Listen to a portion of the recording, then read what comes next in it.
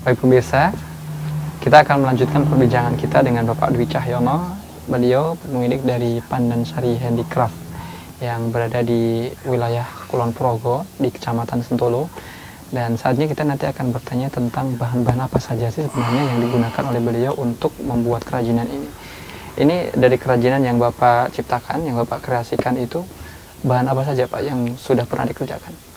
Uh, saya dari pandan ya, pandan yang dari tepi laut itu loh, hmm. tumbuhan tepi laut, terus hmm. enjeng gondok yang sering Kira menjadi ya. limbah hmm. irigasi, hmm. terus ada juga dari pohon yang sejauh ini nggak nggak terpakai yang dulunya bisa dibikin tikar tapi sekarang nggak ada yang bikin itu loh, hmm. nah, ada di hutan-hutan. Hmm. Nah kita dari sana kita mengolahnya untuk menjadi bahan, pak. Hmm. Nah bahan tersebut baru kita nanti tata untuk menjadi sebuah karya. Pengolahan untuk menjadikan bahan itu melalui tahap apa aja, Pak? Pengelolaan dari bahan itu uh, awalnya kan bentuk tumbuhan ya, Pak. Tumbuhan. Pertama kan kita keringkan.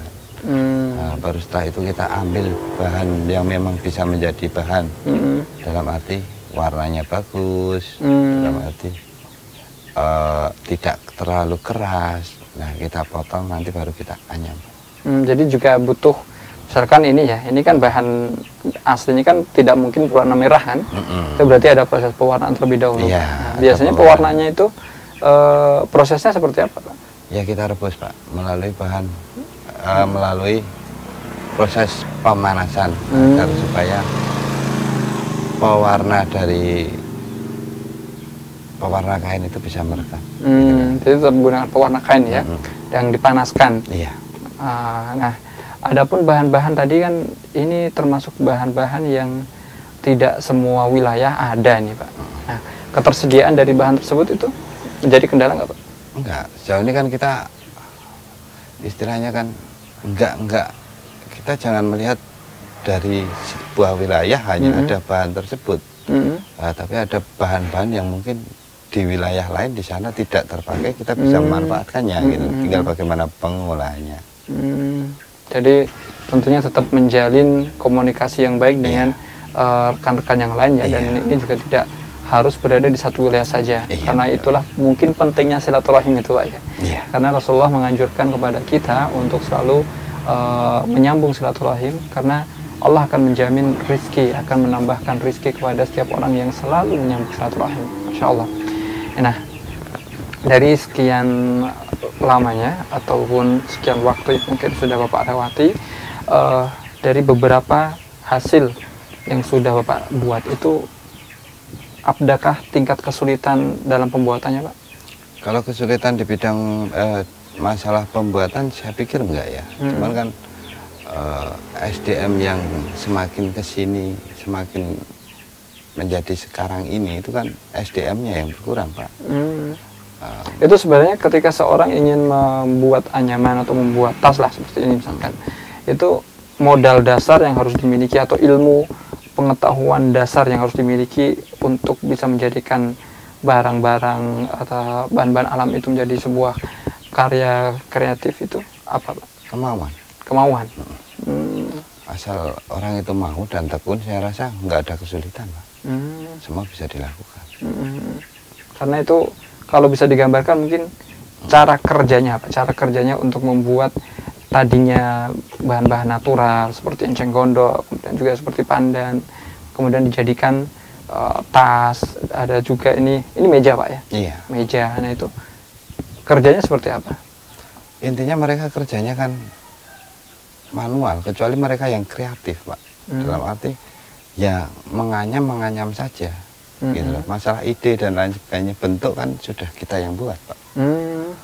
Dia sudah sudah nggak nggak berpikir bentuk lagi, tinggal kemauan mereka, ketekunan mereka saja. Hmm. Jadi di Pandan Sari Handicraft ini hmm. itu apa bisa dikatakan sebagai finishing gitu ya dari beberapa anyaman-anyaman yang sebelumnya dikerjakan oleh orang lain atau bagaimana Pak sebenarnya? Ya sebenarnya kita dari awal ya Pak, kita dari hmm. mengolah bahan, dari mengolah, mengolah bahan. bahan, tapi nanti kan ada timnya sendiri. Oh begitu, jadi bahan. dari bahan yang sudah diolah itu akan dilempar kepada tim yang lain ya. Nah nanti baru hmm. balik ke sini lagi untuk proses finishing Pak. Hmm. Nah, berarti ada rangkaian ya, ada Iya. rangkaian kegiatan dan ini juga tentunya bisa memberikan manfaat kepada orang-orang sekitar nih Pak. Iya. Nah, sekarang Pak dari tempat usaha Bapak ini sudah sejauh mana eh, hasil kreativitas seorang Pak Dwi Cahyono ini bisa dikirimkan? Maksudnya Bisa hasil di ya hasil ini apakah sudah ada permintaan dari luar Yogyakarta atau mungkin bahkan luar negeri? eh, di tahun-tahun yang lalu Mm-mm. itu nggak hanya lokal Indonesia dalam kutip, tapi sudah sampai ke Jepang, Hmm. terus Eropa juga udah udah pernah. Tapi kita kita kita nggak pernah keluar sendiri. Tapi Hmm. mereka yang mencari mungkin ketemu di pameran terus Mm-mm. mereka ke sini. Hmm. Ya alhamdulillah sejauh ini kan kalau pasar saya pikir bisa dicari. bisa dicari ya. Intinya memang ada kemauan ya, ada kemauan dan juga tentunya kita harus rajin untuk menjalin link ataupun jaringan uh, dalam memasarkan ini. Nah, uh, apa saja Pak produk-produk yang Bapak kerjakan di sini Pak? Eh, aksesoris pak sekarang. Mhm.